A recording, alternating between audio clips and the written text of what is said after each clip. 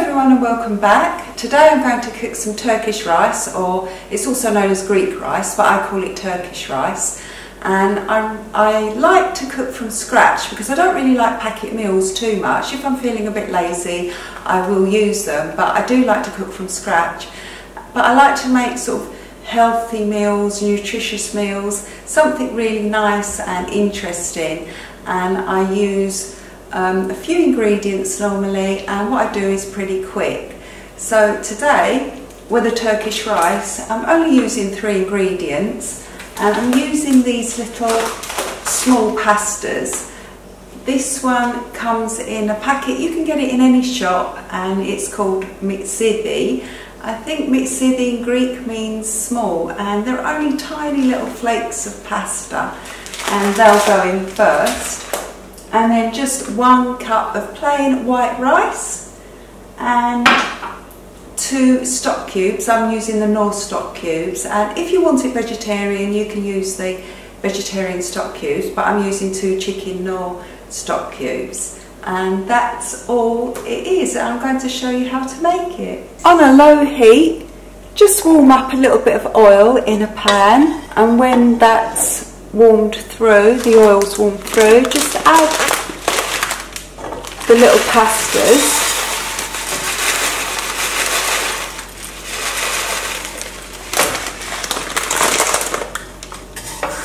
Just enough to cover the bottom of the pan.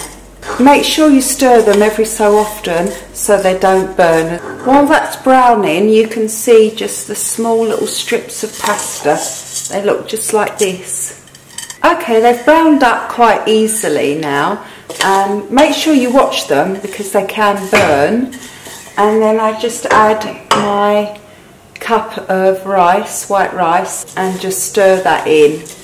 Then you want to add some water to the pan and cold water, but you want it to be about an inch above where the rice is and just bring that to the boil. And while that's boiling, I just crumble in the stock cubes, crush those stock cubes into the mixture, into the mix and stir it all around. Make sure those stock cubes are well dissolved and just stir it all in and let it come to the boil.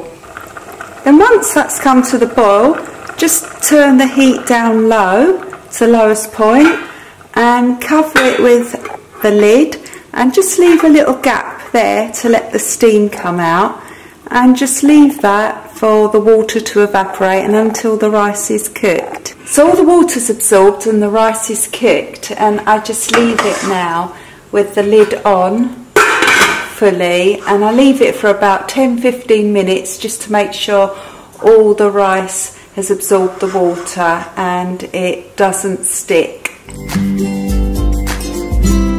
So this is just a quickie video in my kitchen of me cooking the rice and I really wanted to show you because sometimes I have these recipes that are really quick and easy to do. There's not many ingredients and you know you cook from scratch and you feel like you're doing something healthy as well, not just eating out of packets all the time which I really don't like. I do that sometimes when I really can't be bothered to cook, like maybe if I'm ill or something, but I know cooking takes ages and it's a chore every day to cook and that's why I do look for things that are really quick to do.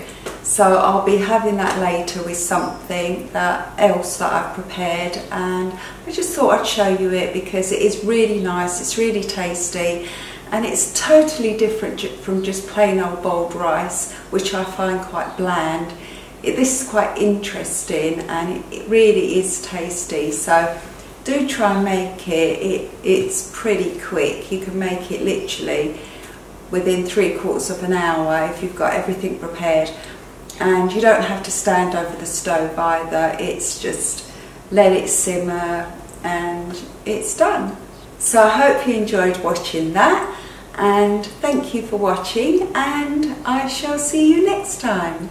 Oh, before I go, I made these yesterday. I've got a bit of a blue thing going on there. Fairy cakes with chocolate fudge icing on the top. People have been eating them already, but they were easy to make, but I'm quite proud of those.